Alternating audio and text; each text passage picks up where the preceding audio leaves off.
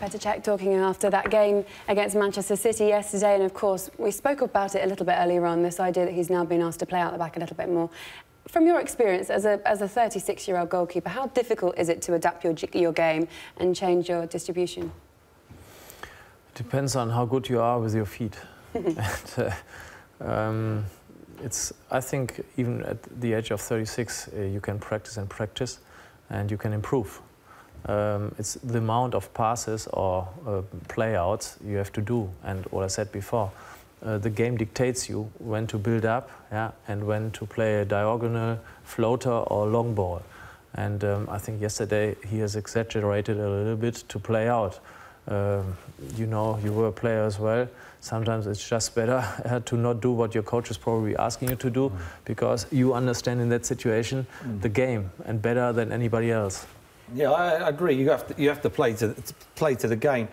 The other thing is, I felt sorry for Cech. I didn't see a lot of the players wanting the ball. Mm. Yeah. It wasn't there wasn't too many angles, wasn't too many people coming, and and when he did pass it to him, it was like, you know, you have it back again. So I, I felt for him, but this man's been around. He's played seven. He probably played seven, six, seven hundred games. He won everything in the game. He should be big enough and strong enough to go right. Everybody get up. This is not working. It's not working. Everybody get up. We'll hit it long. We're playing their half, and we'll go from there. You know, for Arsenal to think that they're going to roll the ball out from the back and, and go through Man City like it's a PlayStation game is is beyond me. And and that was surprised me with Cech. I thought he should have just put the ball down the, the, the Man City goal is as good as anybody with his feet. He can hit a ball, he can hit eight, but he don't mess about. Look at the League Cup final, the Carabao Cup final last year. He just went bang, 70-yard ball over the top to Aguero, scored. You know, Pep Guardiola probably said didn't tell him to do that before the game. That's that's his experience or his vision to go right. Arsenal are pushing up on us. I'm just going to smash this long, and and that's I, that's what I found weird about Cech yesterday. I mean, this is this is not a young kid. It's not like a, a Pickford or someone like that who's just coming into the game. This is this is an experienced world-class goalie who's been around for a long time. Who should have said, "Wait there." Everybody get up. I'm hitting this ball long. This ain't working. You have to consider, um, principle, you're right, but you have to consider there's a new guy came in for 20 million. Uh, he's competition. Mm. So even as a 36 yeah, year old guy. I mean, this is Peter Cech. I mean, he's won everything in the game. If he's going to be worried about a, a 21, 23 year old lad who's just come over. You know, you don't want that. he's, he's got to be big we, enough. I mean, he's got know, to be big enough. He's got to. Yeah, um, we don't know. We don't know what the coach is like. Yeah, if mm. he tells him you play out, no matter what happens. Yeah, he do could it. do. Yeah? yeah? If not, if not, the other guy is playing. So sometimes. Well, if he keeps on doing that, if, if he keeps on doing that, he'll be sitting here in about six months. That's true. It will be. Are we seeing this uh, uh, more of a trend? You talk about Ederson as well, playing out from the back, and also the likes of Alisson perhaps mm. being brought in because of his ability with the ball at his feet. Is this the way that modern goalkeeping is going, that they'll be expected to do this more often? Oh, I think so. I think so. I think that, yeah, I think they keep on wanting to play out. I think this is the new the new thing at the moment. Everything comes around. There's a new, you know, the, yeah, of course it is. The big centre forward was the big fashion, wasn't it? Now, how many how many teams have got a big centre forward? Yeah, but they're spending a lot of money on goalies. I've got no problem with that. You know, when people go, oh, 60 million for a goalie, you pay 60 million pound for a forward.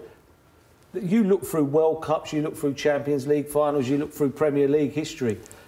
No one ever wins anything without a good goalie. Do you think that's warranted, Jens, in terms of the price tag for the goalkeepers suddenly shooting up?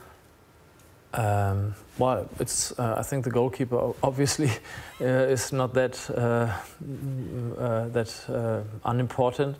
Uh, and what you said is right. Without a good goalkeeper, you don't win anything. I remember when I came to England, um, I was sweeping balls just 40, 50 yards in front of my goal, and everybody said he's mad. He's not a keeper. He's mad. And um, now you have to you ask everybody to play like that for me, modern goalkeeping is just not to concede goals. and um, what I have to say as well is uh, that um, probably 5% or uh, only a very, very few percentage of uh, keepers are really well educated in that respect because uh, they, are, they don't know how to organize. Um, they don't have they don't have the right points of reference. Uh, they don't have a, a vision in uh, looking around, organizing, and knowing where the ball can come. Um, they're all good with their feet now, the top guys, but that's not enough. That's only one small part of the game.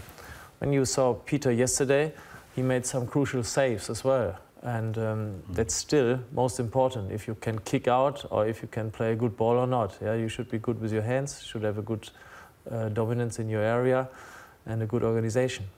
Could you say that arguably Jordan Pickford got in the England squad ahead of Jack Butland because of his uh, because of his ability? He started the games.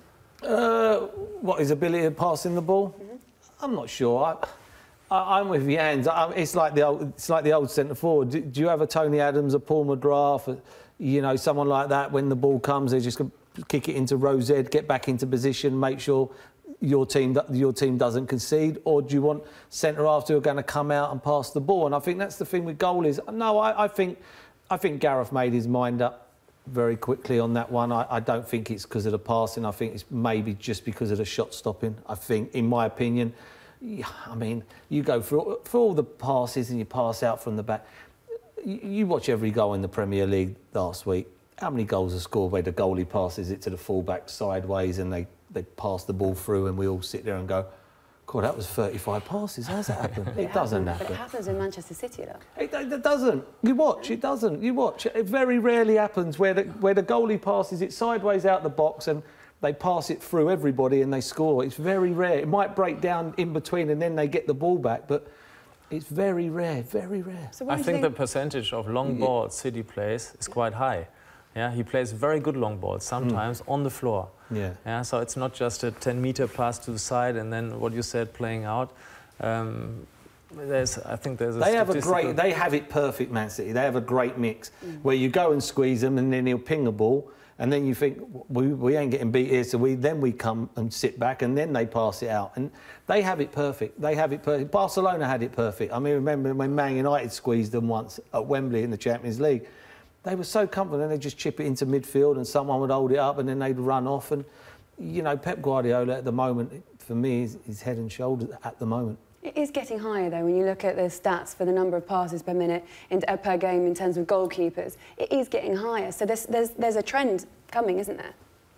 I think uh, when you use a goalkeeper, it needs to give you possession, and it uh, ranges the, the opposition a little bit because um, they always need to take the risk to close down the goalkeeper, mm. to try to force him to play a long ball, which is easier to defend. There's another statistic, for example, when you play long balls, uh, the team which plays the most long balls uh, will most of the time lose the game because um, the percentage of uh, coincidence is higher. And um, that's why you always try to control the ball by playing out from the back. Um, I think it's uh, more. It's not that much to uh, try to build from the keeper an attack where you actually can score. It's more to not have the opposition have the ball. Yeah, so they're getting tired. After a while, they're getting tired. Probably in the first half, they try a little bit. After the 60 or 70 minutes in the Premier League, they don't do it anymore because they know the keeper is good with his feet. Uh, so we let him play. The goalkeeper Bernd Leno, that's, that's just signed for Arsenal. He didn't start at the weekend against Manchester City. Do you, do you know much about him? Do you know what we can expect from him? Of course I know him, yeah. Uh, he was uh, a young guy when I played at Stuttgart. Um, every now and again he came training with us. Uh, he has developed really well. He's a good goalkeeper. Um, at Leverkusen he didn't have competition, so sometimes keepers tend um, to play, yeah, and uh, it doesn't really matter if he mm. plays top or not because there's no competition. So um, he's been asked at Arsenal to um, step up his game a little bit, to take more risks, because uh, that's actually, I like players who take risks, because uh, you can expect more from them. Mm. And sometimes they fail, but in the long run, you get out of them a lot. And um, if he does that, uh, this year or next year, I don't know when Peter try, uh, wants to retire, um, then he will play, but he has to do that.